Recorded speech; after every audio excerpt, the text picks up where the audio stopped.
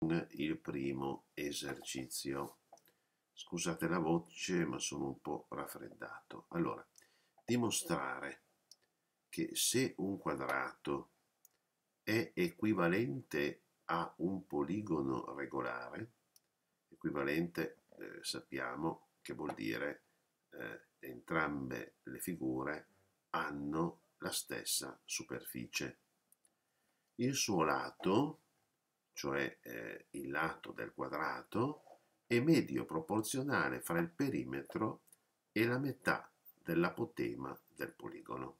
Quindi noi abbiamo per ipotesi che eh, la superficie eh, del poligono SR, abbiamo dato eh, il valore di R a questa superficie, e ST, abbiamo dato il valore di T alla superficie del poligono, sono equivalenti. Chiameremo questo SR ST, visto che sono equivalenti, con eh, il, la lettera S. Noi dobbiamo dimostrare che eh, il lato del quadrato è medio proporzionale tra il perimetro eh, del poligono e la metà della sua apotema. Allora, vediamo la dimostrazione. Inscriviamo innanzitutto eh, il, eh, eh il poligono in una circonferenza. Sappiamo che eh, ogni poligono regolare è iscrittibile e circoscrittibile ad una circonferenza. Poi eh, il centro del poligono regolare eh, si eh, identifica con il centro della circonferenza, uniamo il centro, che possiamo anche chiamare O, con eh, i vari eh, estremi eh, del lato del poligono.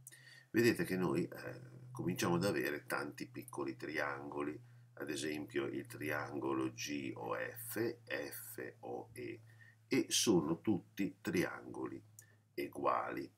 Uguali per diverse ragioni, potrebbe essere per il terzo criterio di eguaglianza dei triangoli, oppure anche solo per il primo criterio di eguaglianza dei triangoli.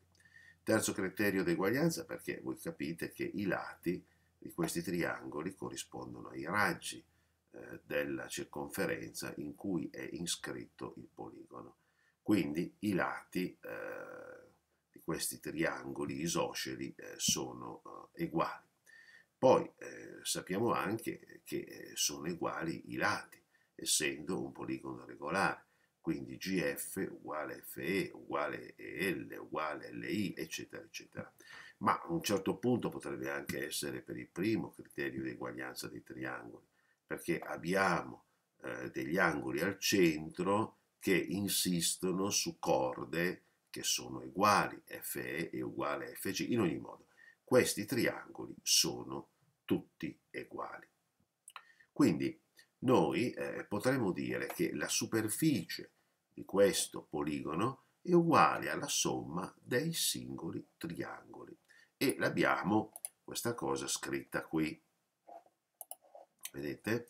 Abbiamo scritto qui. Allora, eh, F sarebbe la base, per l'altezza che è eh, metà, eh, che è l'apotema, no? l'apotema del poligono, fratto 2, perché sappiamo che la superficie di un triangolo si ottiene moltiplicando la base per l'altezza e dividendo per 2. Così abbiamo fatto per tutti gli altri triangoli. Quindi in questo caso abbiamo un esagono, ci sono sei triangoli, 1, 2, 3, 4, 5, 6. La somma di tutti questi triangoli vi dà la superficie dell'esagono. Ora, se io metto in evidenza, io metto in evidenza eh, l'apotema fratto 2, cioè metà dell'apotema, no? Eh, cosa viene fuori? Viene fuori che eh, abbiamo a mezzi, aperta tonda, EF più GF più GH più HI più IL più LE.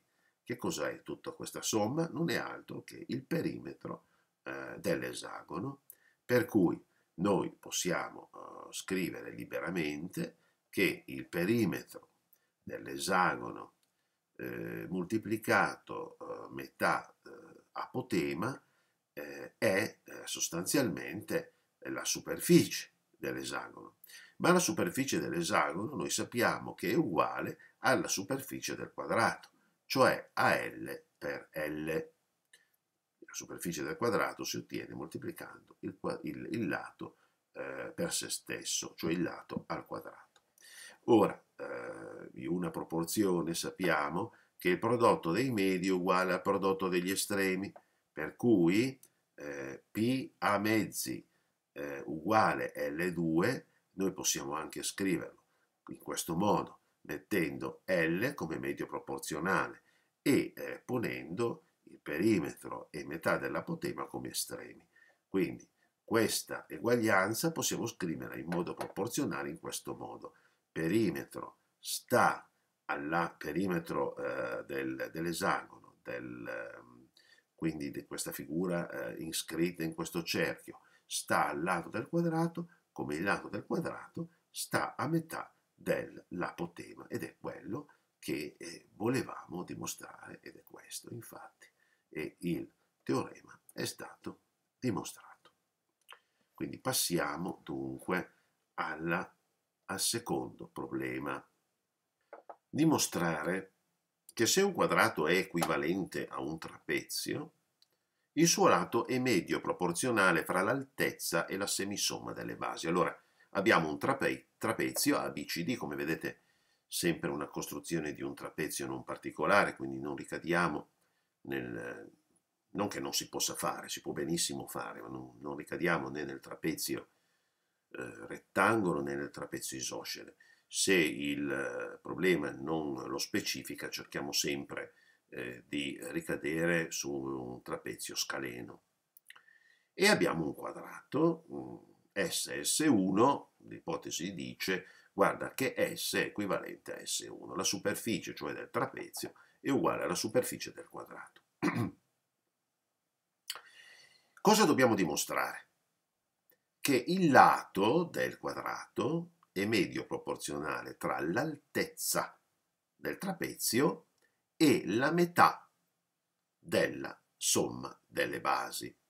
Qui abbiamo messo H, l'altezza, B e B con 1, la base minore e la base maggiore del trapezio, e L, il lato del quadrato. Per cui possiamo così scrivere H sta ad L come L sta a b più b con 1 fratto 2. Allora, è un teorema che abbiamo già visto, però lo rivediamo ex novo. Proviamo ad eh, allungare AD, quindi sulla stessa retta su cui giace AD, eh,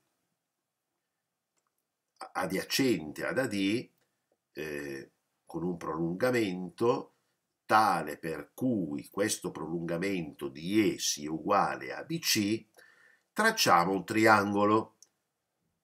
Quindi abbiamo AD più di E che è uguale a BC, nel punto E tracciamo una, eh, un segmento che unisca E con B. Cosa vogliamo dimostrare?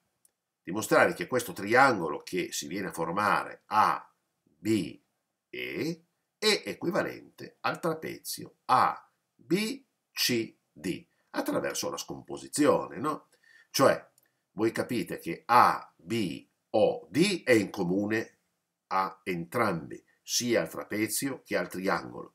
A noi basta dimostrare che BOC è uguale a ODE e a questo punto, senza dubbio, possiamo dire che trapezio che ci è stato dato eh, dall'enunciato del problema e triangolo che abbiamo costruito sono equivalenti.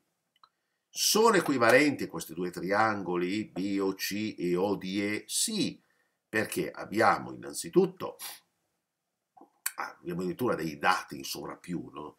perché abbiamo qui un angolo opposto al vertice, no? COB opposto a DOE, poi abbiamo BC che è uguale a DE per costruzione, poi abbiamo l'angolo in C che è uguale all'angolo in D perché abbiamo una trasversale CD che taglia le due parallele BC e AE, quindi sono angoli alterni interni. La stessa cosa vale per C, B, E, e O e D. Anche lì abbiamo due angoli alterni interni determinati dalle parallele AE, BC, tagliate dalla trasversale BE.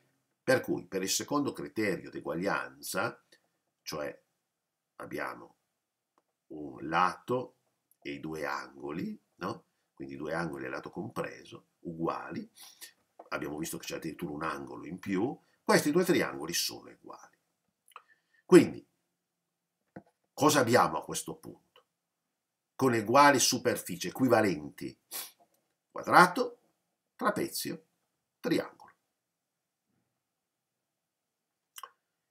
E qui l'ho scritto. ABE equivalente a DBCD, equivalente a FGHI, e tutto questo a che cosa è uguale? A L per L, che è il lato del quadrato moltiplicato per se stesso che mi dà la superficie. Allora, come troviamo la superficie del triangolo che abbiamo costruito ABE? Base AE per altezza HB diviso 2. Quindi eh, B più B con 1, ed è qui, scritto qui, per altezza HBH diviso 2.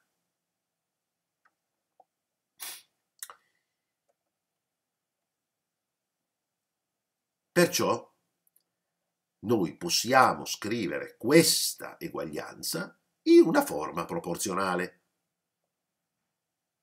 L al quadrato diventa eh, il medio proporzionale di questa proporzione. H e B più B con 1 fratto 2 gli estremi. Io posso scrivere che H, l'altezza del triangolo che è poi altezza del trapezio, sta al lato del quadrato, come il lato del quadrato sta alla somma delle basi del trapezio, B più B con 1 fratto 2, ed è quello che noi volevamo dimostrare. Eccolo qua. Andiamo al prossimo. Dimostrare che le diagonali di un trapezio si dividono in parti proporzionali fra loro e proporzionali alle basi. Quindi io ho un trapezio ABCD, come al solito io insisto sul fatto di non costruire dei trapezi particolari a meno che vengano richiesti direttamente dal, dall'enunciato, quindi ho nuovamente ho costruito un trapezio scaleno, non un trapezio isoscele, non un trapezio rettangolo, e poi la tesi cos'è? Beh, A, O, sta, Ad, O, C, come D, O, sta, Ad, O, B, come A, D, sta, A, B, C. Come lo dimostro? Valutando i due triangoli B, O, C e A, O, D, che sono simili per il primo criterio di similitudine. E abbiamo anche qui dei dati a iosa, perché non soltanto possiamo dimostrare direttamente l'eguaglianza di due angoli, ma addirittura di tre angoli.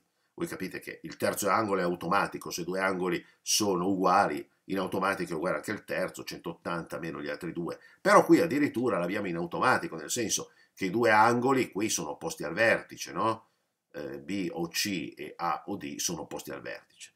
Ma poi gli altri angoli, l'angolo in B ad esempio e l'angolo in D, così come l'angolo in C e l'angolo eh, in A, eh, sono uguali considerando la parallela BC eh, e le due parallele BC e AD tagliate rispettivamente dalle trasversali BD e CA.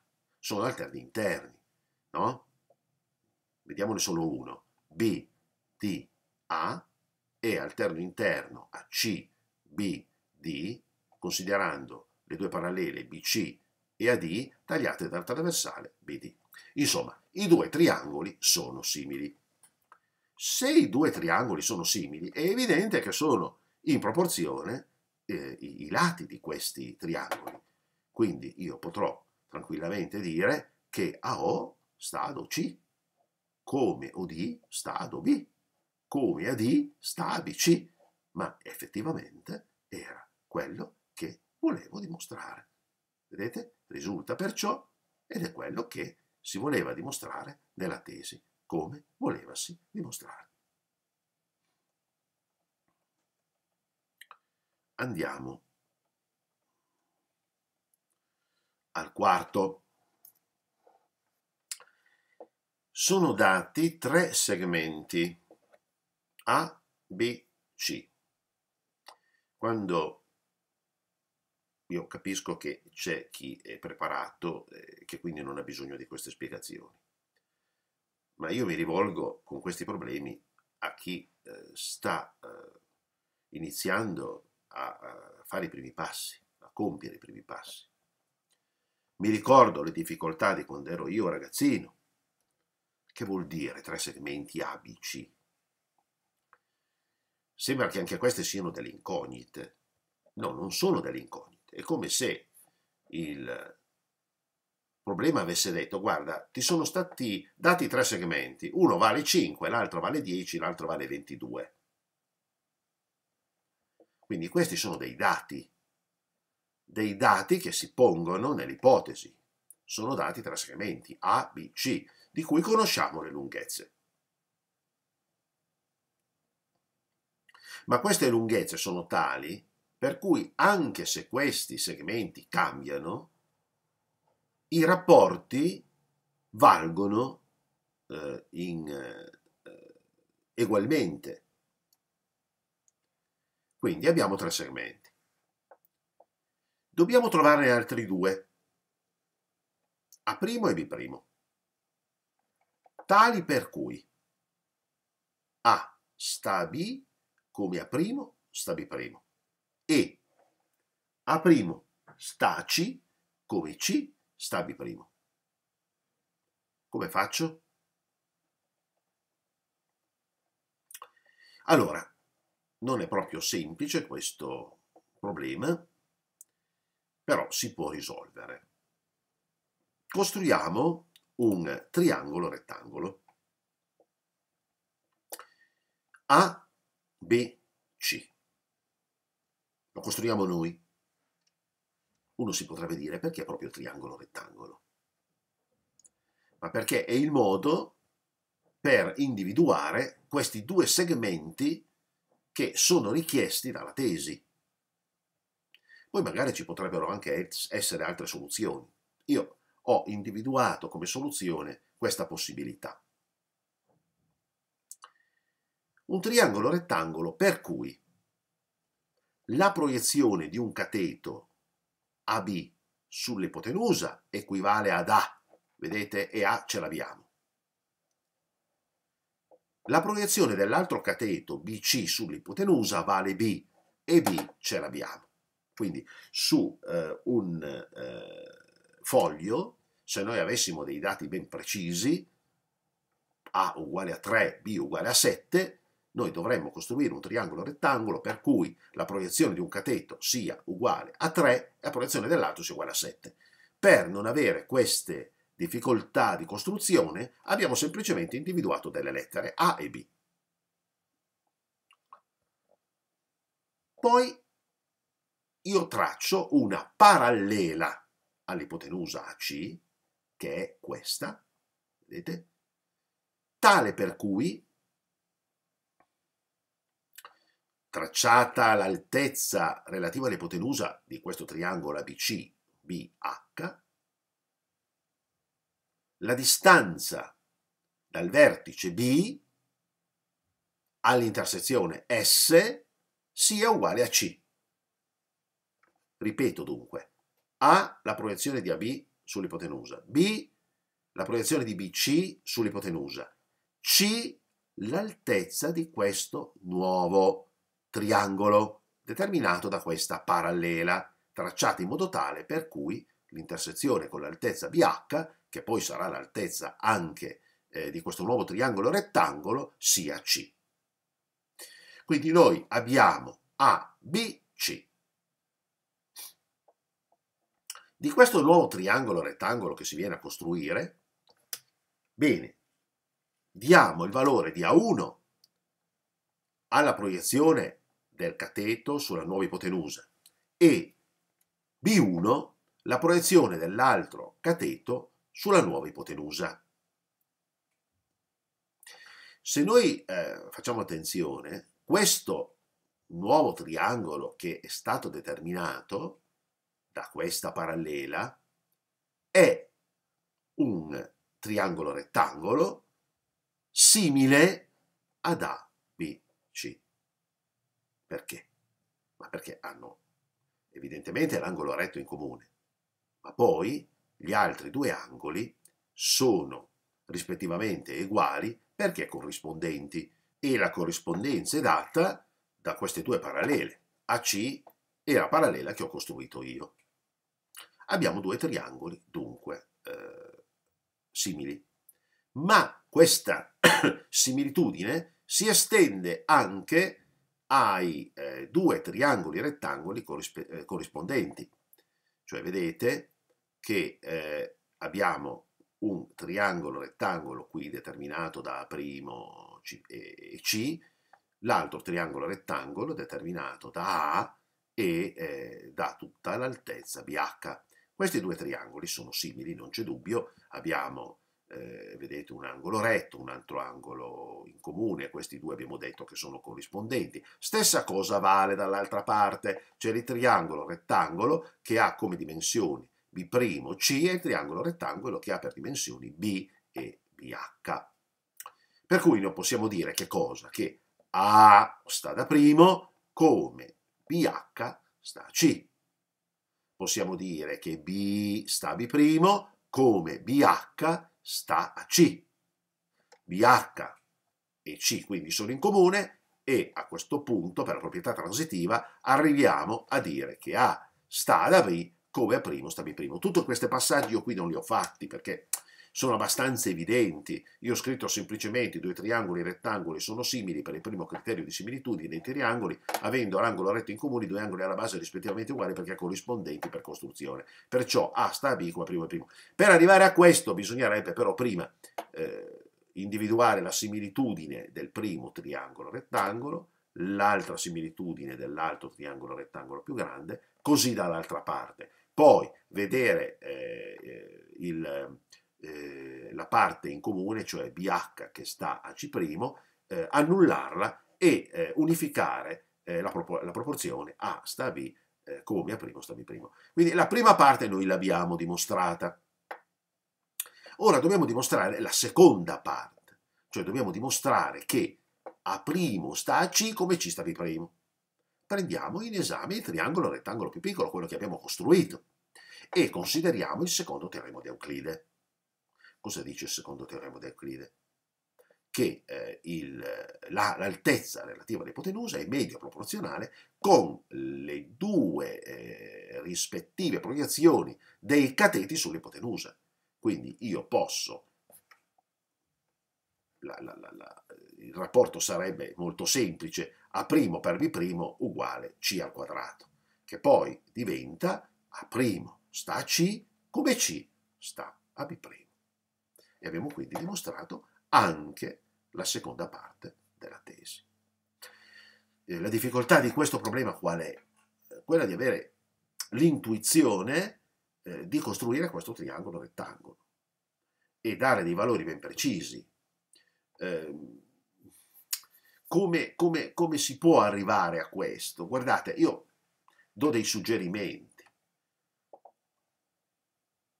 Questa richiesta perché ho sempre detto di usare la tesi eh, come mezzo per eh, trovare la strada migliore da percorrere eh, per la dimostrazione. Qui c'è un medio proporzionale, C e A' B'.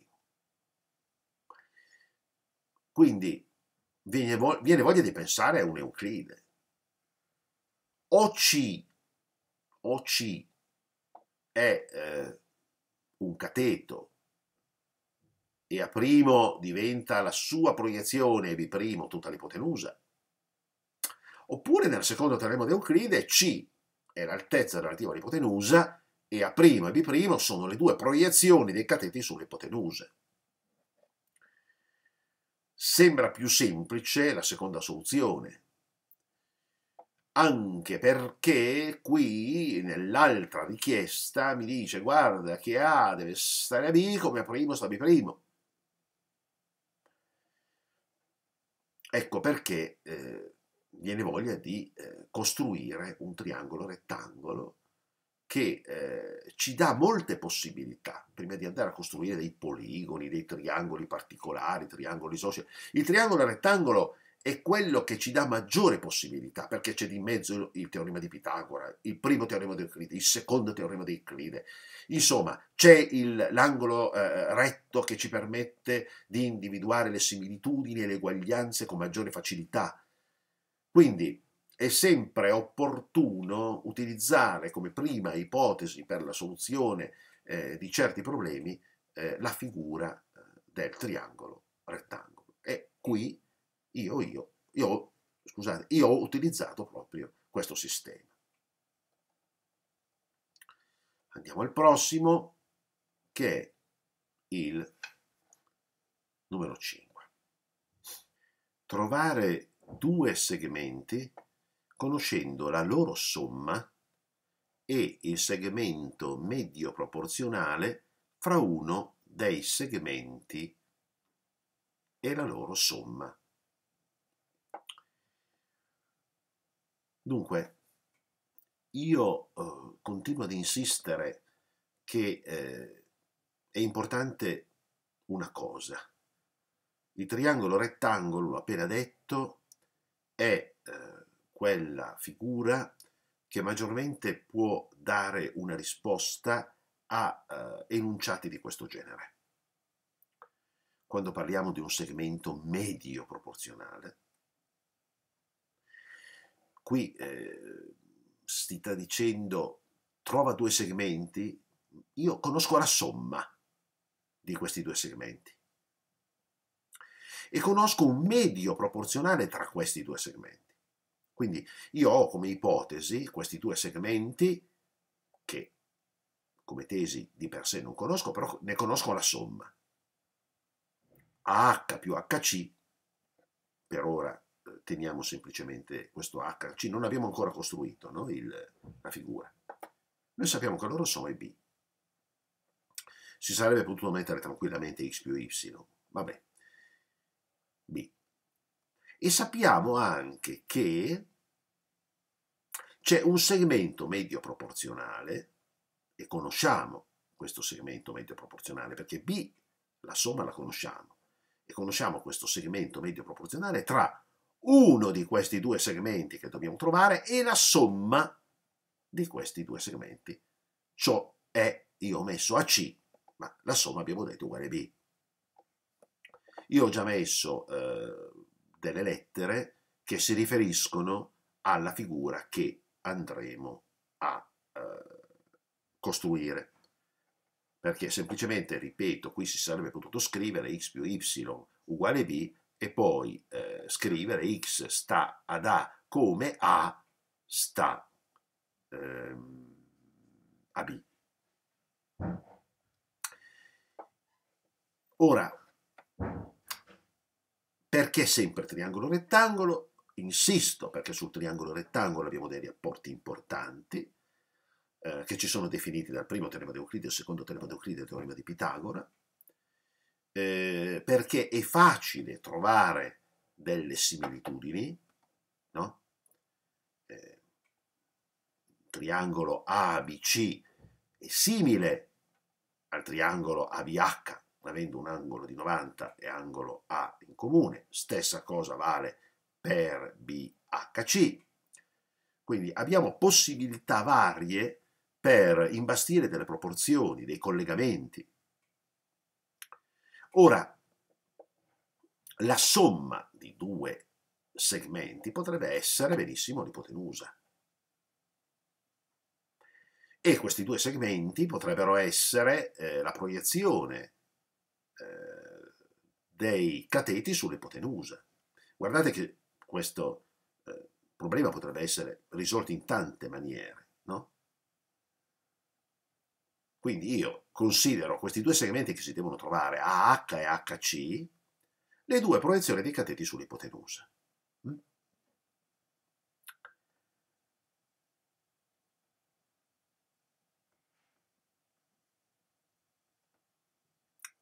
Poi considero A l'altro segmento che mi viene dato come un cateto, potrebbe anche essere applicato questo A a BH.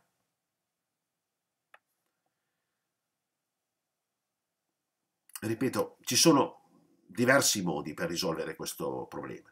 Io qui l'ho risolto in questo modo. Allora, i due segmenti sono le due proiezioni dei cateti sull'ipotenusa, di cui noi conosciamo la somma. Poi conosciamo anche la lunghezza di un cateto, AB, che è uguale ad A. Allora, noi sappiamo che in eh, un triangolo rettangolo, per il primo teorema di Euclide, eh, un cateto, no? in questo caso prendiamo il cateto AB, è medio proporzionale tra la sua proiezione sull'ipotenusa H e tutta l'ipotenusa. Quindi io posso scrivere questa proporzione. A è medio proporzionale tra H e AC. E AC noi lo conosciamo, perché abbiamo detto che la somma di H più HC è B. Ora diamo il valore ad H di X, ma avremmo potuto anche tenerlo semplicemente così a H. Io ci ho messo X perché X normalmente è eh, il, la lettera che viene eh, predicata di un'incognita. E ho sostituito. X sta ad A come A. Al posto di AC ho messo B. Ripeto, al posto di X avrei potuto tenere H. Il prodotto dei medi uguale al prodotto degli estremi, quindi bx uguale a 2. x uguale a 2 fratto b. Abbiamo detto che x è uguale ad h. Quindi abbiamo trovato AH.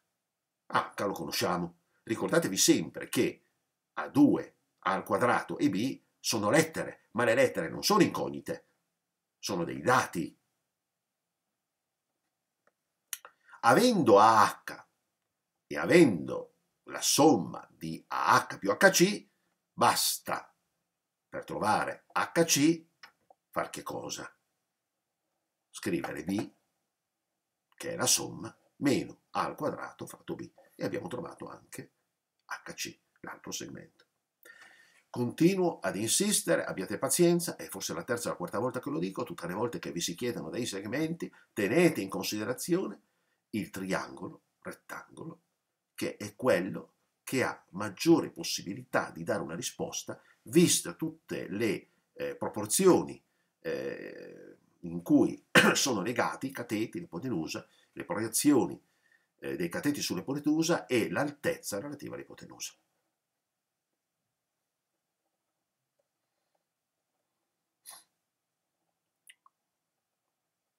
E andiamo quindi al sesto problema.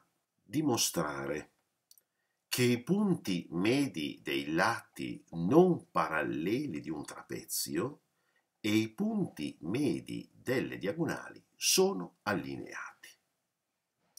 Allora, di nuovo un trapezio, di nuovo non un trapezio particolare, rettangolo o isoscele, ma un trapezio scaleno. Cosa dobbiamo dimostrare? visto e dato per scontato che ci sono dei punti qui, E, F, G, H, che noi abbiamo già definito in partenza come punti medi, punti medi del lato PA, per cui BE è uguale ad EA, del lato CD, per cui CH è uguale ad HD, della diagonale CA, per cui AF è uguale ad FC, della diagonale BD, per cui BG è uguale a GD. Cosa devo dimostrare? Che tutti tutti questi quattro punti si trovano eh, a giacere sulla stessa retta. La retta è H. Allora, la prima cosa che faccio è tracciare una retta che unisca E con H, cioè i due punti medi dei due lati obliqui.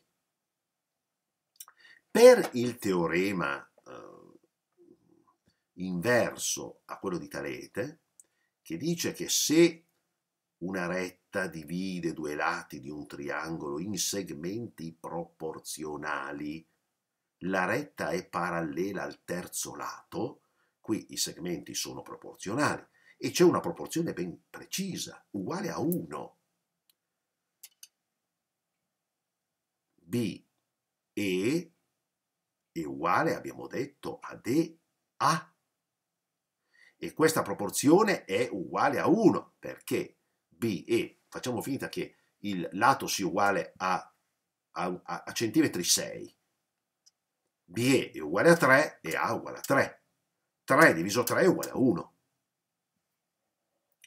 Se CD invece di essere 6 fosse 8 cm, la metà è 4. Quindi CH 4, HD 4. 4 diviso 4 sempre 1. I segmenti sono proporzionali, no? Sono proporzionali e la proporzione è 1. Perciò la proporzione di questi segmenti eh, è eh, uguale, perciò la retta EH è parallela ad AD. Quindi noi abbiamo a questo punto un fascio di rette BC e H costruita da noi, AD intersecata da eh, varie eh, secanti. Abbiamo visto BA, abbiamo visto CD, adesso vediamo CA e BD, cioè eh, le due diagonali. Dunque,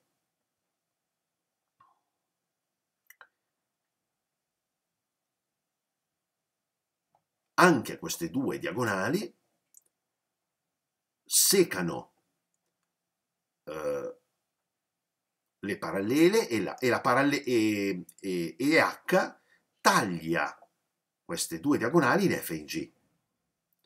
Ora, per eh, il teorema di Talete, non quello inverso, ma quello diretto, che dice che su un fascio di, di rette parallele tagliato da rette trasversali il rapporto tra i due segmenti determinati su una trasversale uguale al rapporto dei segmenti corrispondenti determinati sul lato trasversale, io posso dire senza dubbio che CF sta ad FA, ad esempio, come BE sta ad EA. Il rapporto è eh, proporzionale, ma abbiamo visto che il rapporto di BE e A è 1, quindi anche il rapporto di CF e FA e il rapporto di BG e GD è 1. Quindi vuol dire che eh, eh, questa parallela che passa attraverso i punti medi dei lati obliqui passa anche attraverso i punti medi delle diagonali del, trape del trapezio. F e G sono i punti medi, abbiamo detto, e da quei punti medi passa la parallela EH. E l'abbiamo quindi dimostrato. Quindi in questo problema prima bisogna partire dal teorema inverso a quello di Euclide, poi applicare il teorema eh, di Euclide in modo diretto. Passiamo al problema numero 7. Sul triangolo rettangolo ABC, rettangolo in A, si faccia cadere l'altezza relativa all'ipotenusa AD, che divide l'ipotenusa in due segmenti, DC uguale a C e dB uguale a B. Si tracci poi una parallela all'ipotenusa che taglia C in F e AB in E. AF uguale D, AE uguale A. Quindi qui i dati li abbiamo tutti, no? Eh, abbiamo i dati delle proiezioni dei cateti sull'ipotenusa, C e B, e quindi abbiamo anche i dati eh, dell'ipotenusa. Abbiamo una parallela all'ipotenusa. Abbiamo le lunghezze eh, dei cateti del nuovo triangolo rettangolo che si viene a formare con questa parallela, cioè A, F e Quel che ci chiede il problema è dimostrare determinati rapporti.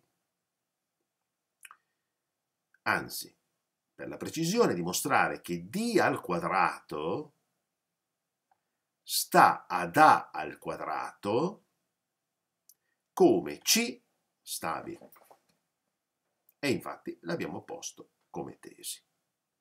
Abbiamo messo come ipotesi che FE è parallela a CB che CB è perpendicolare ad AD, avremmo dovuto mettere come ipotesi anche che A è un angolo di 90 gradi.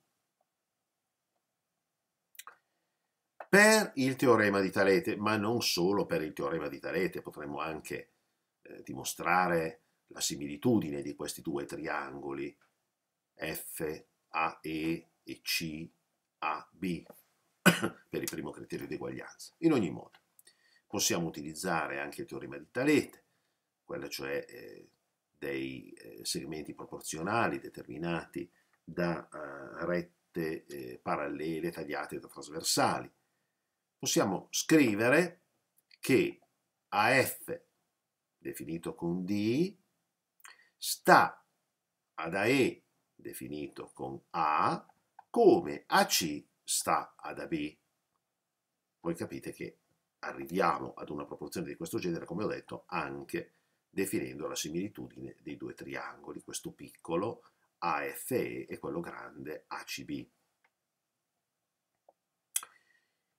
C'è un teorema che dice che se quattro segmenti sono in proporzione, sono in proporzione anche i loro quadrati, quindi possiamo mettere al quadrato tutti questi dati. d al quadrato sta ad a al quadrato, come c al quadrato sta b al quadrato. A questo punto valutiamo i rapporti che ci sono sul triangolo maggiore, cioè ACB. E senza eh, ombra di dubbio possiamo dire che il cateto, in questo caso AC, è medio proporzionale tra la proiezione di se stesso sull'ipotenusa con l'ipotenusa stessa. Quindi possiamo scrivere che AC medio proporzionale con proiezione sull'ipotenusa e l'ipotenusa, o la proiezione C e l'ipotenusa B più C. Stesso lavoro possiamo farlo con l'altro cateto e scrivere che AB è medio proporzionale tra B, la sua proiezione sull'ipotenusa, e l'ipotenusa B più C. Poi i medi, il prodotto dei medi è uguale al prodotto degli estremi, AC al quadrato è uguale a C per B più C, AB al quadrato è uguale a B per B più C. Ora proviamo a sostituire questi dati nella 1, cioè ad AC al quadrato sostituiamo C che moltiplica b più c. A da b al quadrato sostituiamo b che moltiplica b più c e abbiamo questa proporzione. Poi al secondo membro noi possiamo eh, proporre una uh, semplificazione e semplifichiamo per b più c, per cui alla fine noi abbiamo la uh, proporzione richiesta, cioè d al quadrato sta al quadrato come c più b, come effettivamente ci era stato richiesto. A volte mi si chiede, ma io come faccio ad arrivare a delle conclusioni di questo genere. Cioè io vedo un triangolo rettangolo, vedo che c'è una eh, parallela, io continuo ad insistere eh, che su una cosa il triangolo rettangolo ha, ha, ha importanti rapporti e quindi se abbiamo un C che mi dà la proiezione di un cateto sull'ipotenusa, abbiamo un B che mi dà la proiezione di un cateto sull'ipotenusa, più che il teorema di Pitagora, che ci interessa fino a un certo punto, più che il secondo teorema di Euclide, che gioca sull'altezza relativa all'ipotenusa, noi eh, dobbiamo affidarci ad esempio al primo teorema di Euclide, che ha come punto di riferimento tutta l'ipotenusa, e noi l'abbiamo, C più B, e la proiezione di un cateto sull'ipotenusa, e ce l'abbiamo, C un caso, B nell'altro. Ehm, perciò eh, diventa evidente che qui bisogna utilizzare il primo teorema di Euclide. Poi la tesi ci dice di 2 sta ad A2, quindi io devo mettere di mezzo il D e l'A. Se voglio mettere di mezzo il D e l'A, devo mettere di mezzo anche la C e la B in proporzione. Semplice poi il passaggio di passare, di passare tutto al quadrato, per cui noi già il primo membro richiesto ce l'abbiamo già di A2 e A2, e AC, avendo l'ipotenusa, avendo la proiezione di AC sull'ipotenusa, siamo a posto. Utilizziamo il primo teorema di Euclide. Siamo sempre lì, dobbiamo vedere quali dati abbiamo, ma in modo particolare qual è il punto di riferimento che ci viene offerto dalla tesi e partire di lì. Uno dice, ma io alla tesi devo arrivare attraverso dimostrazione. Sì, d'accordo, ma la tesi mi indica già un percorso da seguire. I dati da una parte, definiti dall'enunciato, e la tesi dall'altra, sono i percorsi da seguire per arrivare alla soluzione del problema. Andiamo al prossimo, che è il numero 8. Questo è un po' complesso. Vediamo anche di individuarne un metodo per cercare di eh, risolverlo. In una circonferenza è iscritto un triangolo equilatero. E già qui io direi eh, di fare le cose nella maniera più precisa possibile. Io ho tracciato una circonferenza e poi con il raggio della circonferenza partendo da B ho segnato eventuali punti di intersezione per un eventuale esametro. Esagono, scusate, mi confondo letteratura con geometria, un esagono regolare. Per costruire un triangolo regolare che ha una quantità di lati eh, eh, uguali alla metà, io unisco i punti saltandone eh, uno in, alter in alternanza, cioè prendo il punto B, poi salto questo punto, e prendi il punto A, poi salto all'altro punto e prendi il punto C. Quindi con un'apertura raggio io non soltanto riesco a costruire un esagono, ma anche un triangolo equilatero. E ho costruito il triangolo equilatero ABC.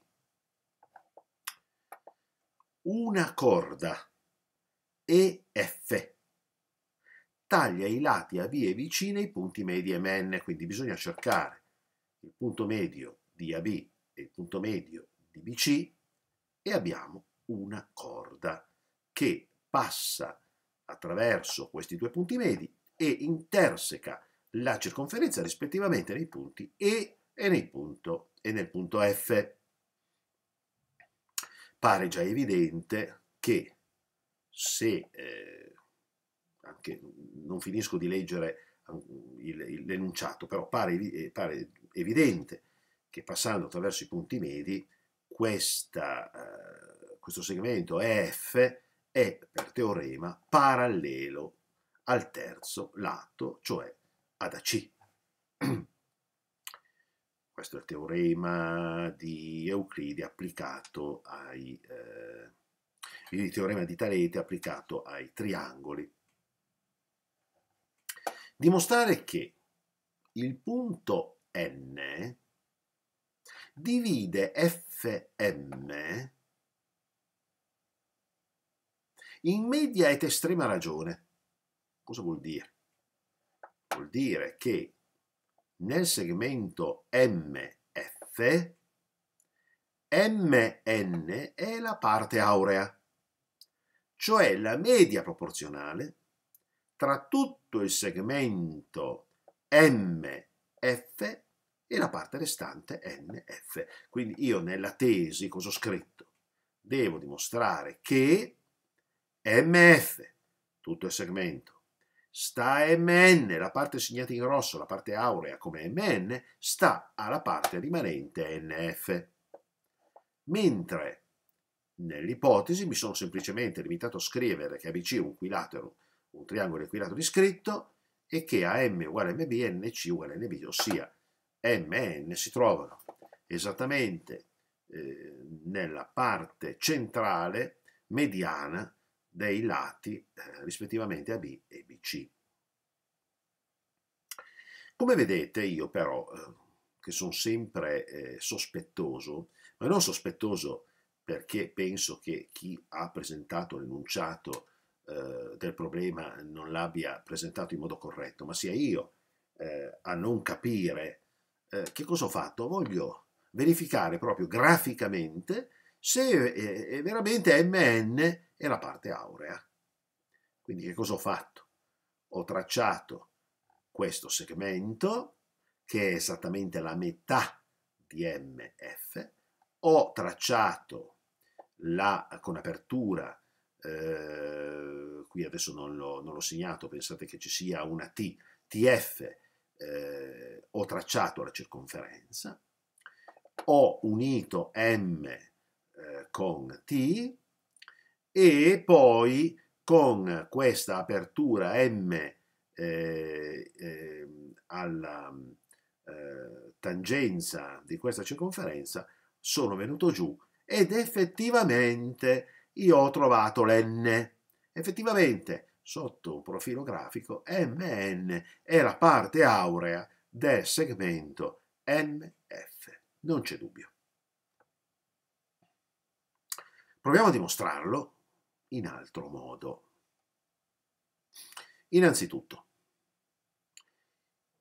consideriamo due corde.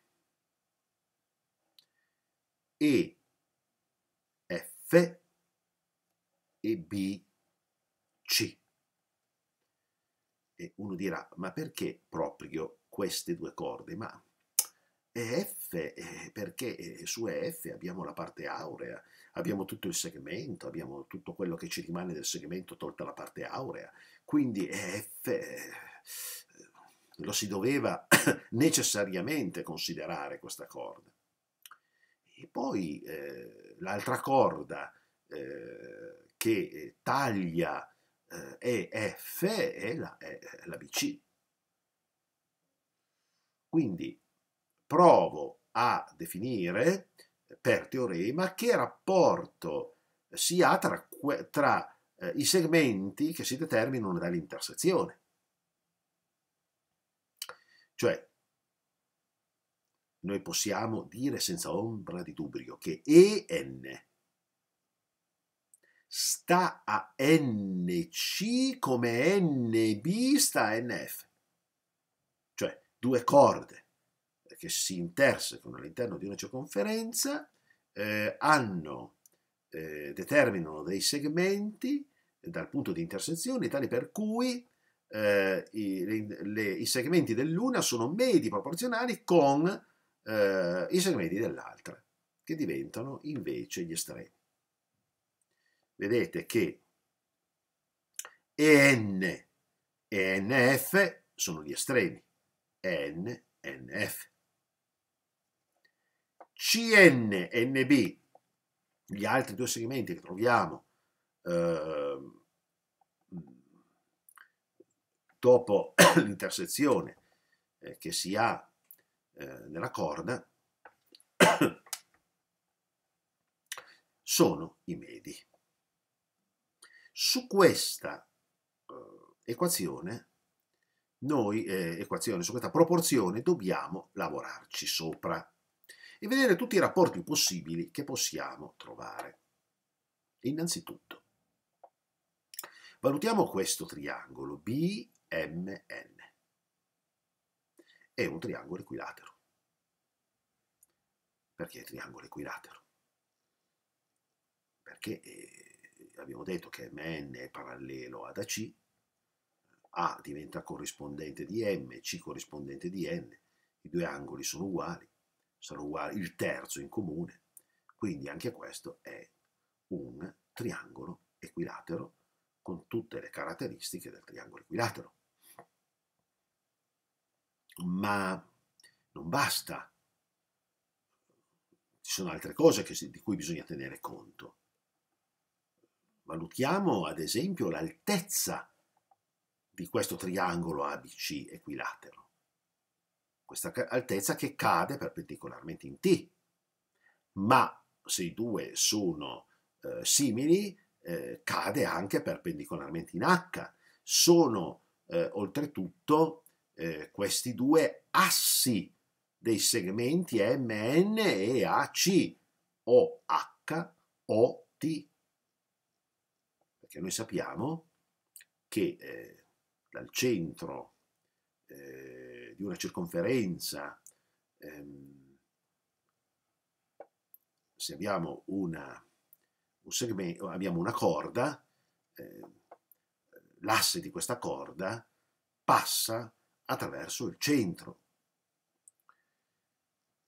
Abbiamo dei dati interessanti, come ad esempio eh, abbiamo il dato che Bn, essendo triangolo equilatero, è uguale a Nm, ma Bn è anche uguale a Nc, quindi Nc uguale a Nm. Qui l'abbiamo scritto, Cn uguale Mn. Se poi guardiamo questo segmento EF con tutte eh, queste intersezioni M, H, N, riusciamo a dire che MF è uguale a NE. Perché? Ma ci sono tanti sistemi, tante vie per dimostrarlo, no? Eh, valutiamo eh, questo, questo, questo lato MN, no? MN che è il lato del triangolo equilatero, abbiamo già visto che BH, BH o T passano, eh, essendo all'altezza del triangolo equilatero, essendo l'asse eh, dei vari segmenti, intersecano eh, MN in eh, un punto H che non è soltanto asse ma è perpendicolare, altezza e mediana, quindi MH uguale HN. Um, ma poi possiamo eh, senza eh, dubbio affermare che anche EH è uguale ad HF. Eh, perché? Perché è, una corda sostanzialmente dove OH eh, perviene in modo perpendicolare, quindi la divide a metà. Quindi io so che MH è uguale a HN, so che EH è uguale ad HF, no? Eh, quindi per, eh, eh, diciamo, somma di segmenti uguali, eh, senza ombra di dubbio possiamo dire che EN, che è uguale ad EH più HN, e MF sono uguali, MF è uguale a HF più MN tutti i segmenti che abbiamo dimostrato uguali. E quindi a questo punto, a questo punto lo possiamo anche vedere, per differenza o per somma di segmenti uguali sia n uguale a mf. Questo punto io devo valutare tutto quello che ho ottenuto, cioè sono partito, se voi vi ricordate, applicando il teorema eh, sull'intersezione di due corde, eh, dove vengono individuati dei segmenti proporzionali, e poi e questo è l'1. Poi ho individuato il 2, il 3 e il 4 nelle successive dimostrazioni. Adesso proviamo a trascrivere di nuovo questa proporzione facendo le eh, dovute sostituzioni. Invece di EN scriviamo MF, eccolo qui, perché abbiamo detto NM, N uguale MF. Invece di CN mettiamo MN, ed ecco qua mettiamo mn. Invece di nb, dalla seconda, mettiamo mn e di nuovo mettiamo mn. Nf rimane così com'è. mf sta mn come mn sta nf. Che cos'è questo? Quello che volevamo dimostrare, questo. mf sta mn come mn sta nf. Ed mn non è altro che la parte aurea del segmento che definiamo MF, come abbiamo detto fin dall'inizio. Quindi tutto il segmento MF sta ad MN parte aurea come MN parte aurea sta a quello che rimane del segmento NF. Così abbiamo dimostrato.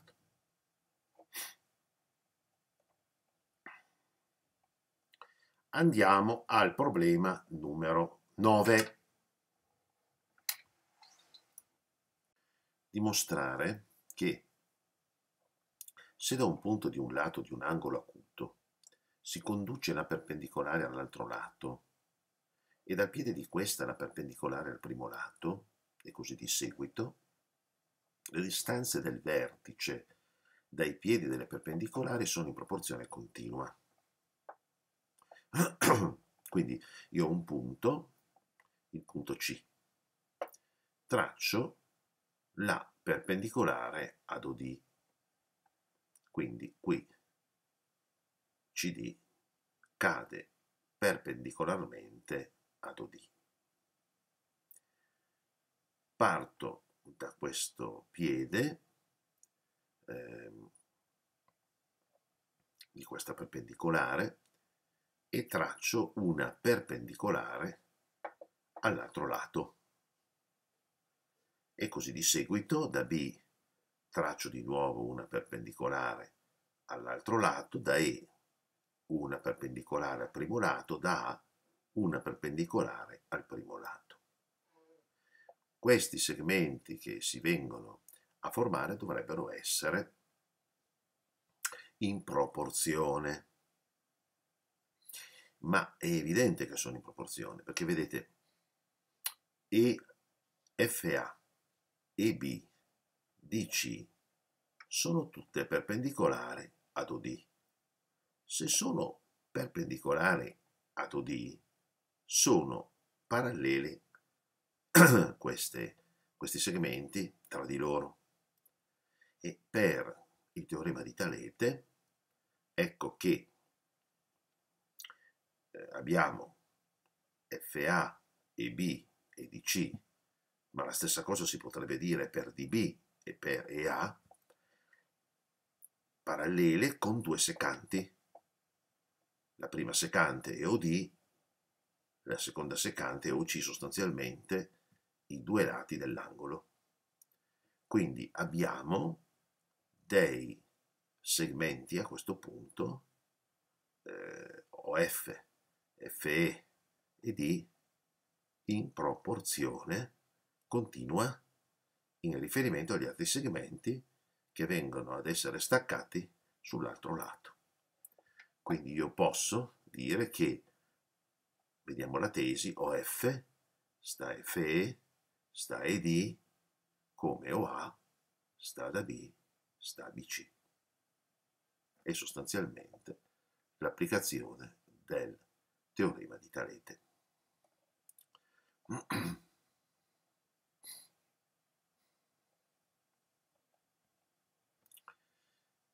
E qui passiamo al problema numero 10. Dimostrare che le diagonali di un pentagono si dividono scambievolmente in media ed estrema ragione. Dopo aver costruito un pentagono, ho tracciato due diagonali, BE e AC. Ora prendiamo in considerazione una di queste due diagonali. Avremmo potuto prendere in considerazione anche l'altra, BE. È chiaro che quello che dimostriamo per una diagonale vale anche per l'altra. Ora, AC è tagliata da BE in F. E quindi secondo la richiesta del, dell'enunciato, CF dovrebbe essere la parte aurea del segmento CA. Cosa vuol dire? Vuol dire che tutto il segmento AC sta ad FC come FC sta alla parte rimanente, cioè ad AF. Perché sappiamo che la parte aurea è appunto il medio proporzionale tra tutto il segmento e la parte rimanente. Io ho ritenuto importante dare dei valori agli angoli. Perché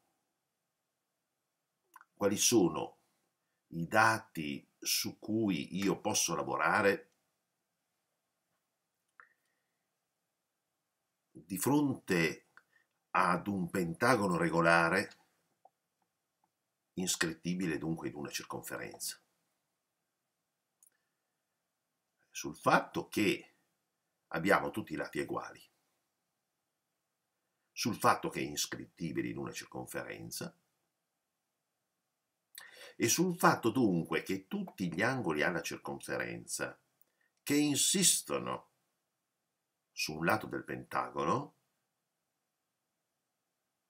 sono uguali, perché insistono sullo stesso arco.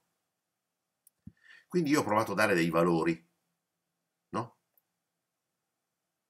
Ad esempio, B, poi magari alcuni di questi valori non serviranno, ma incomincio intanto a vederne i vari rapporti. Ad esempio,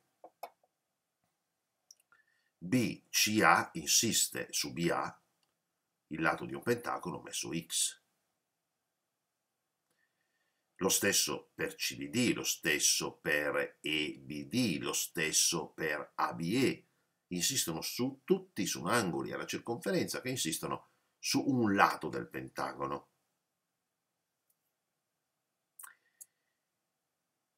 Poi ho preso, ad esempio, in esame l'angolo CAE, che insiste su un arco che è definito da due lati del pentagono, e quindi il doppio, e ho messo 2x. Valutando poi il triangolo ABE, cioè sono arrivato a un certo punto che sono riuscito a trovare il valore interno delle x di un triangolo.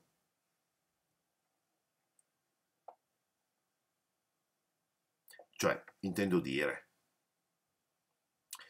BCF ad esempio, io avevo un x da una parte e un x dall'altra. Però il terzo angolo non ne conoscevo la dimensione. Lo stesso vale per AFE, non ne conoscevo la dimensione. Se invece io prendo in esame il triangolo BAE, ho x da una parte, x dall'altra, 2x più x dall'altra ancora fa 3x. Quindi vuol dire che le x, il valore x interno ad un, eh, questo valore x che abbiamo dato, eh, e che sommando dovrebbe dare 180 gradi, eh, corrisponde a 3, 4, 5x. Cioè, non so se ho, mi sono spiegato. A, B, E ha tre angoli. Uno vale x, l'altro vale x, l'altro vale 3x. Che vuol dire? vuol dire che addirittura io riesco a definire i gradi di questo x. Se il problema mi avesse chiesto dimmi eh, quali sono esattamente eh, i gradi eh, dell'apertura di ogni angolo, io potevo definirlo. Io qui ho detto, ho scritto, il triangolo ABS evince che la somma interna degli angoli è 5x, con un valore dunque di 36 gradi per la x, cioè eh, 180 diviso 5 mi dà 36 gradi. Ma questo non ci interessa.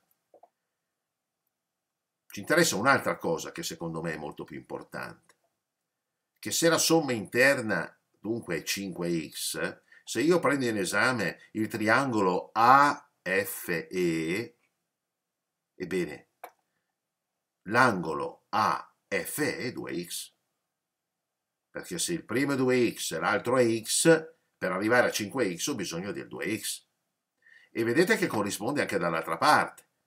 x, 2x, questo sarà 2x, ed effettivamente 2x e 2x sono opposti al vertice sono angoli uguali. È importante questa cosa, è fondamentale. Perché? Perché io scopro che BCF è un triangolo isoscele. Quindi la parte aurea che noi consideravamo CF non è altro che il lato del pentagono. CF uguale CB uguale BA.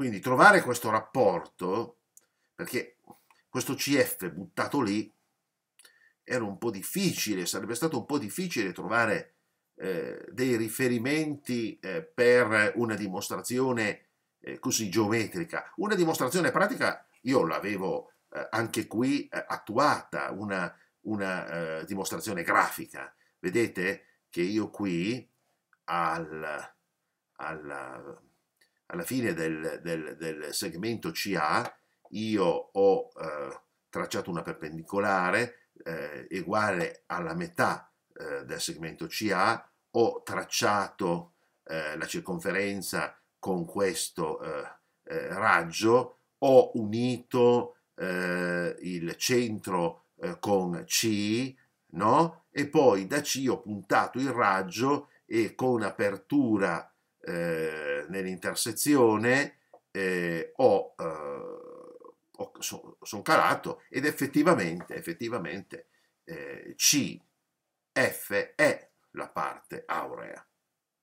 Quindi nella costruzione grafica io la verifica l'avevo già realizzata, però dovevo anche dare una dimostrazione di carattere geometrico.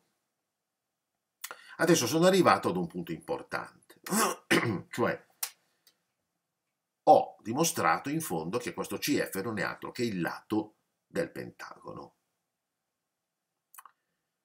Adesso vediamo, visto che stiamo parlando di questo lato del pentagono, se questo lato può diventare il medio proporzionale eh, in una eh, proporzione tra ad esempio triangoli. Io ad esempio prendo in considerazione BCA e BFA. Sono due triangoli simili per il primo criterio di similitudine. Perché? Ma guardiamo un momentino BFA. un angolo è x, l'altro angolo è x l'altro angolo sarà 3x. Prendiamo l'altro triangolo BCA, un angolo è x, l'altro angolo è x e l'altro angolo è 3x. Quindi i, gli angoli sono uguali, i due triangoli sono simili. I lati sono in proporzione. Cosa mi interessa che sia il medio proporzionale? Beh, mi interessa che sia BA medio proporzionale. Effettivamente BA è sia lato del triangolo BAF sia lato del triangolo ABC. Allora che faccio? Ecco, questa è, beh no, possiamo usare questa proporzione.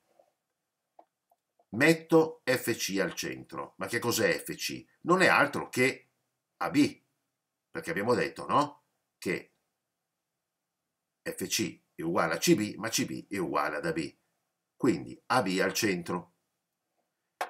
Quindi io posso dire che CA,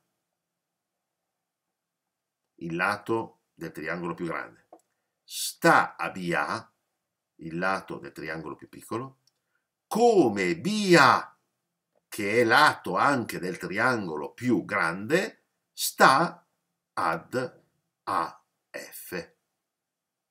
Ed eccolo qui.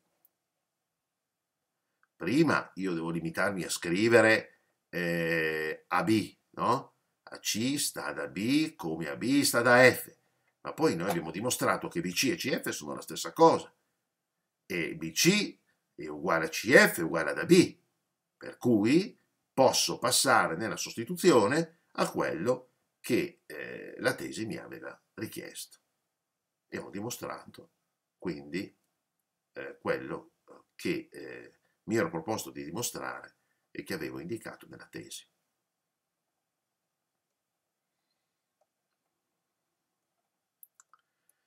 Andiamo all'undicesimo.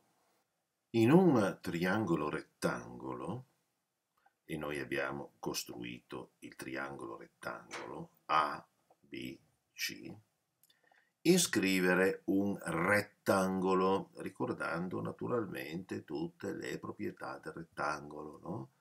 Il rettangolo ha tutti gli angoli retti, il rettangolo ha le due diagonali uguali, il rettangolo ha i due lati opposti uguali. Mm?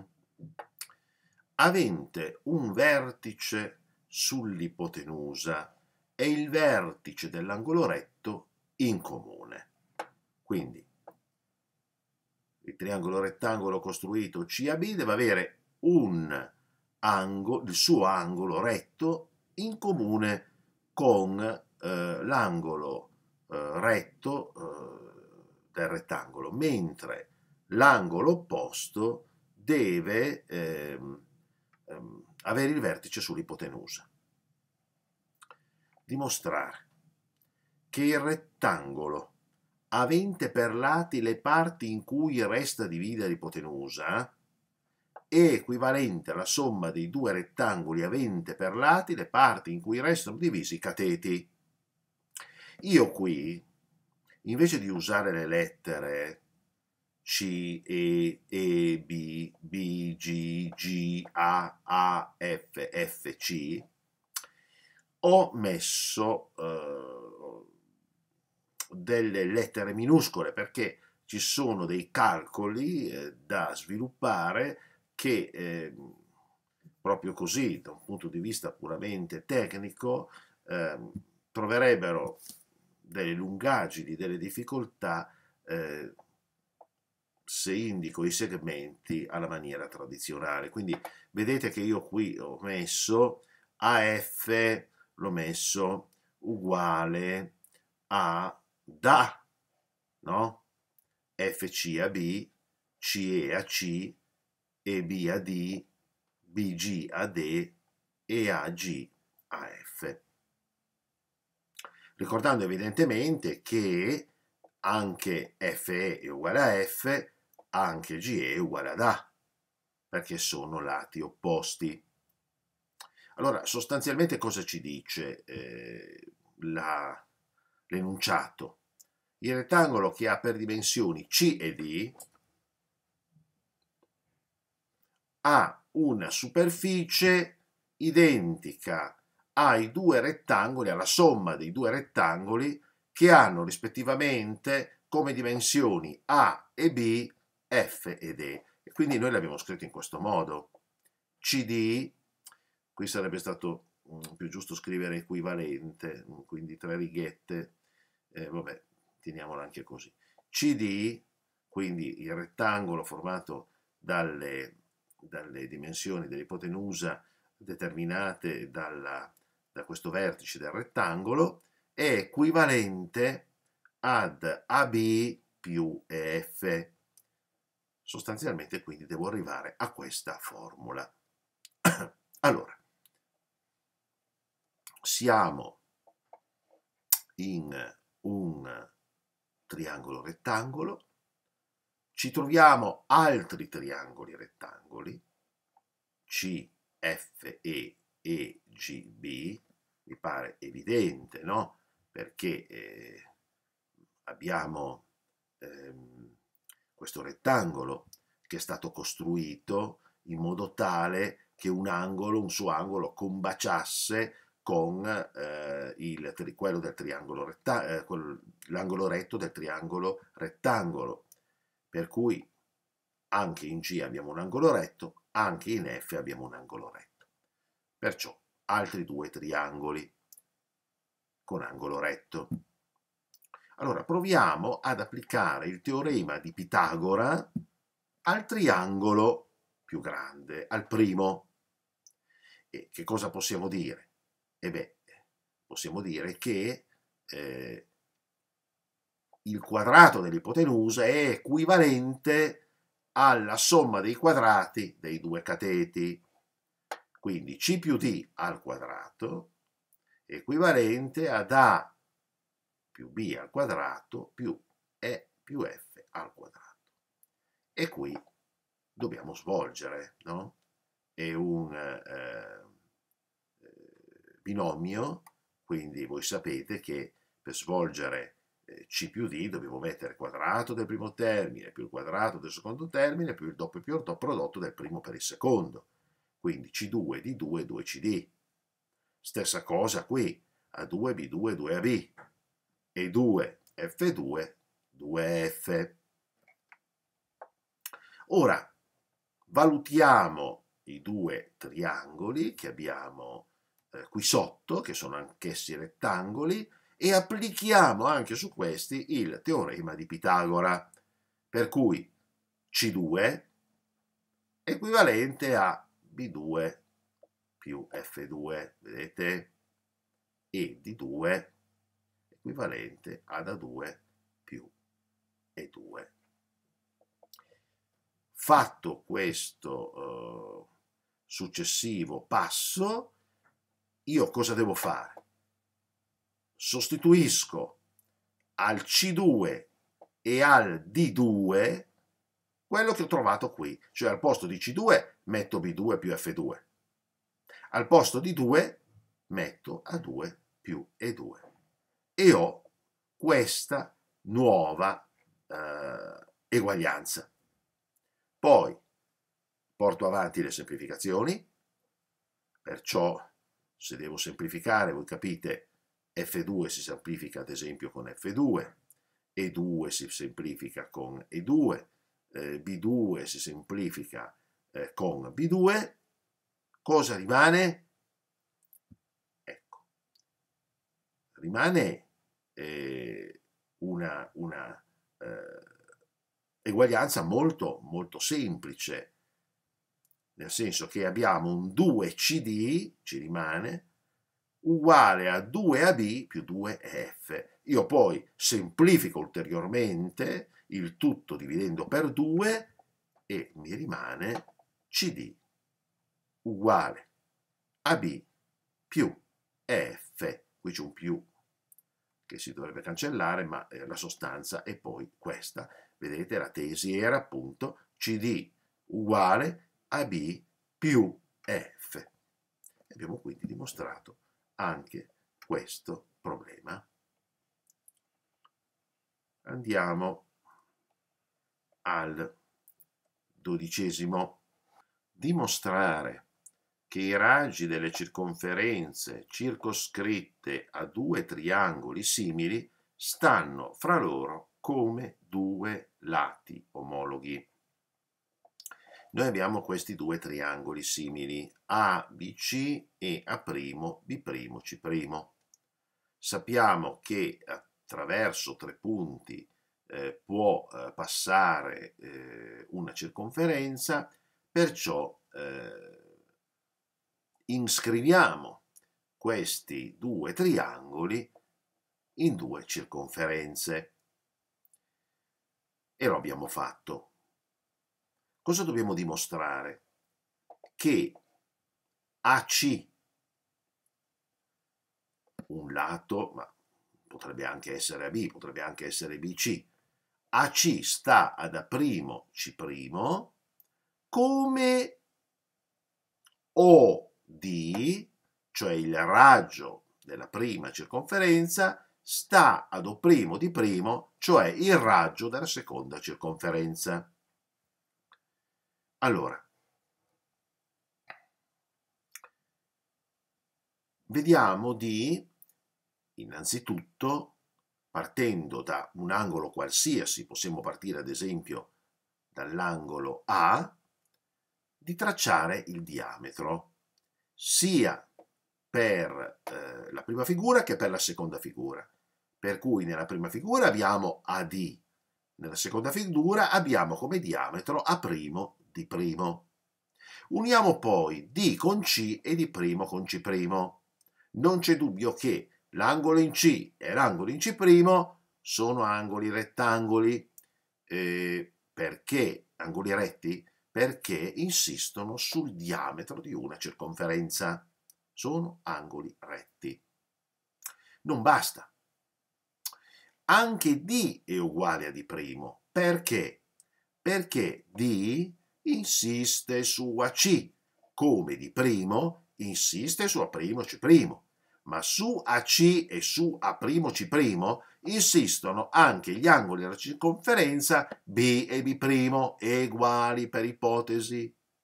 Quindi se B e B' sono uguali per ipotesi, insistendo anche D e D' sullo stesso arco AC, saranno anch'essi uguali. D uguale a di primo. Ma se questi due triangoli ACD e A'C' di primo hanno eh, uguali l'angolo retto, evidentemente 90 gradi, e poi l'angolo D che corrisponde eh, sostanzialmente al D', vuol dire che questi due triangoli ACD e A'C' di primo sono simili se sono simili, posso eh, prospettare questa eguaglianza, no? Ad esempio, AC sta ad A'C' perché i lati a questo punto sono proporzionali, come AD sta ad A' di primo. Ma AD e A' di primo possono essere divisi per 2. Se si dividono per 2, AD diventa R cioè AO, il raggio della prima circonferenza. A' di primo diventa A' primo, ossia R', il raggio della seconda circonferenza. Quindi AC sta ad A'C' come R sta ad R'. Se non volete mettere R, R', mettete AO e A' o primo, non cambia nulla, come appunto si voleva dimostrare nella tesi che abbiamo appena letto.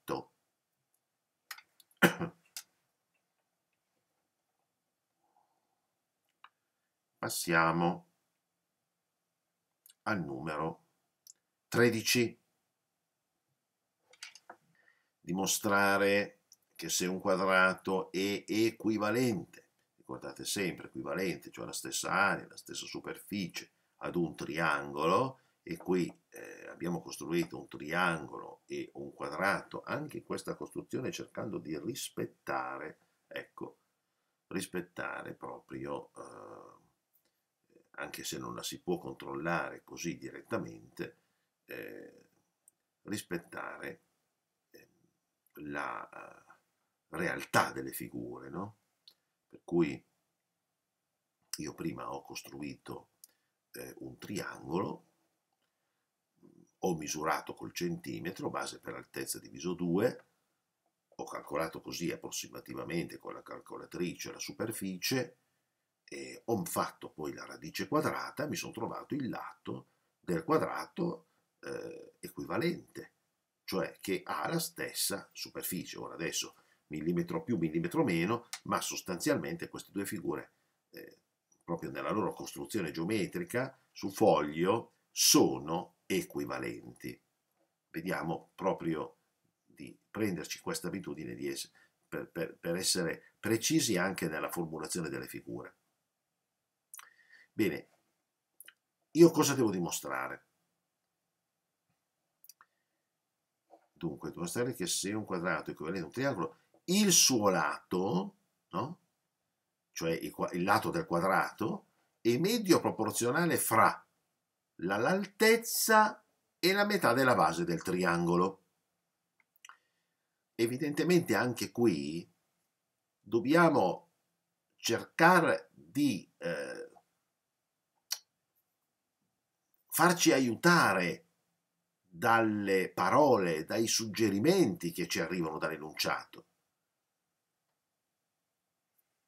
Si sta parlando di metà base, si sta parlando di altezza.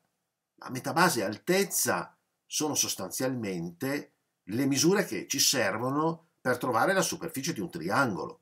E allora, superficie di un triangolo, base per altezza diviso, diviso 2, ma voi capite che noi possiamo anche scrivere eh, questa eh, formula in questo modo. Metà base per altezza. Come potevo scrivere base per metà altezza.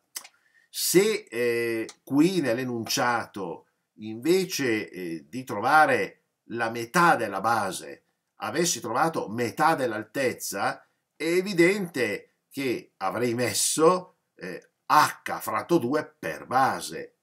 Cioè io devo cercare in qualche modo eh, di riflettere nei miei calcoli eh, suppositivi nello svolgimento di eh, un problema, eh, di eh, così nella stessa formula presentare i dati che mi offre o mi suggerisce l'enunciato. Ora, se si sostituisce, cosa abbiamo? Abbiamo che metà base è uguale ad AM, perché avevamo trovato il punto medio della base e l'avevamo chiamato M. Quindi invece di scrivere B fratto 2 scriviamo AM. Poi altezza è BH il tutto area del triangolo, superficie del triangolo, che equivale alla superficie del quadrato. Ma la superficie del quadrato non è altro che lato per lato, cioè DE per DE. Allora, proviamo a questo punto a eh, scrivere questa eguaglianza sotto forma di proporzione. die per die, quindi il prodotto eh, del lato per se stesso del quadrato, lo facciamo diventare eh, eh, i medi della proporzione. Gli altri due, l'altro prodotto, AM e BH, gli estremi. E allora abbiamo che BH sta ad IE come DE sta ad AM, né più né meno come avevamo eh, scritto nella tesi e come dovevamo appunto dimostrare. Andiamo al quattordicesimo, dove c'è scritto dimostrare che le altezze relative a due lati di un triangolo qualunque stanno fra loro in rapporto inverso dei lati stessi. Quindi qui abbiamo un triangolo ABC, abbiamo tracciato l'altezza da C relativa al lato AB e abbiamo tracciato l'altezza da B relativa al lato, al lato AC, per cui noi sappiamo che CK è perpendicolare a BA e BH è perpendicolare ad AC. Cosa devo dimostrare? Che queste altezze, quindi BH e, CK, BHCK, stanno fra loro in rapporto inverso dei lati stessi. Quindi a BH facciamo eh, corrispondere non il lato su cui cade l'altezza, ma l'altro lato AB.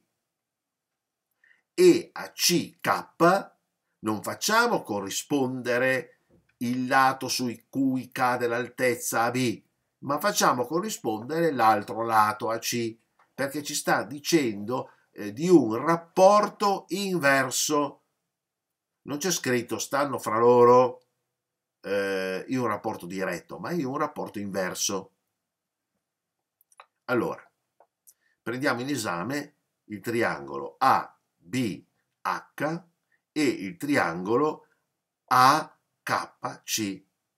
Sono simili per il primo criterio di similitudine. Ma perché? Ma perché hanno un angolo retto e c'è questo angolo A in comune, per cui tutti i tre angoli sono uguali. A questo punto basta solamente eh, proporre la eh, proporzione BH. Il primo cateto, il cateto più lungo eh, del primo triangolo rettangolo. Sta a CK, ossia il cateto più lungo del secondo triangolo rettangolo, come AB, ossia l'ipotenusa del primo triangolo rettangolo, sta ad AC, che è l'ipotenusa del secondo triangolo rettangolo. E noi abbiamo di nuovo dimostrato eh, la tesi perché la tesi ci chiedeva proprio di dimostrare questa eguaglianza che noi abbiamo riportato adesso qui.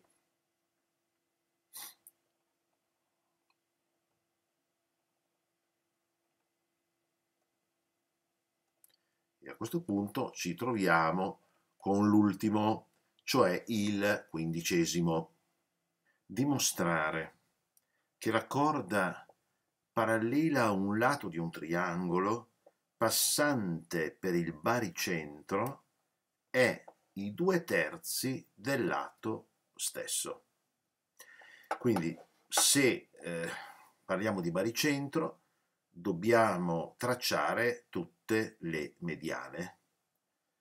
Quindi dobbiamo trovare il punto medio di BA sarà L, il punto medio di CB sarà T, il punto medio di eh, AC sarà P.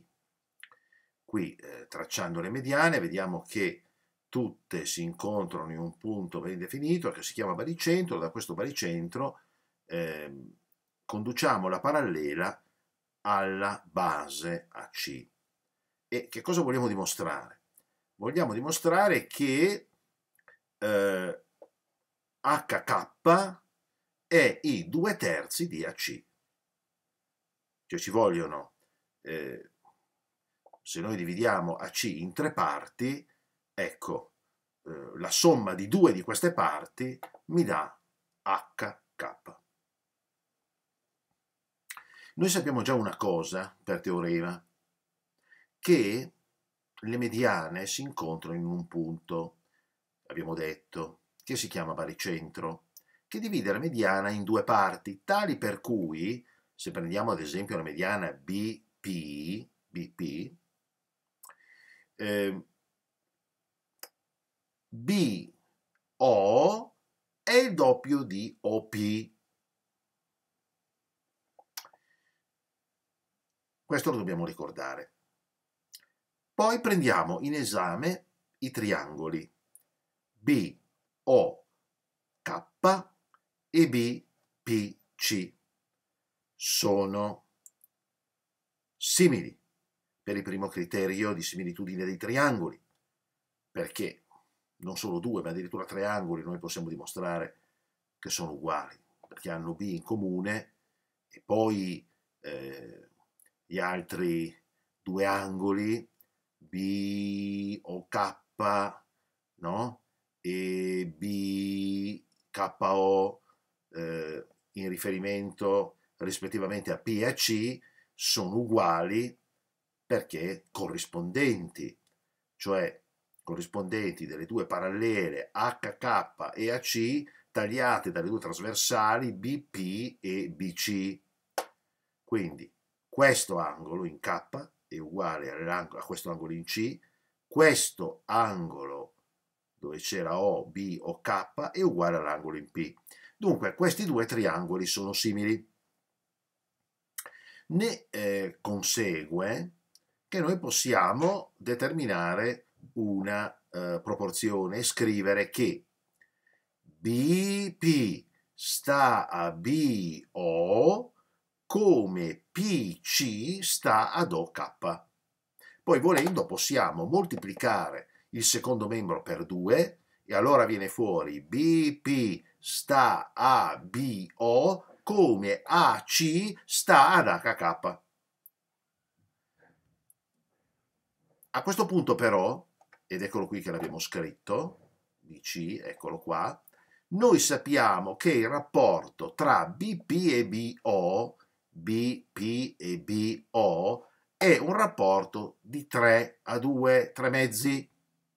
L'abbiamo detto prima, il discorso della mediana, BO è il doppio di OP, quindi eh, tutto BO eh, ho bisogno di 3 OP per fare tutto BP. Insomma, il rapporto tra BP e BO è 3 mezzi.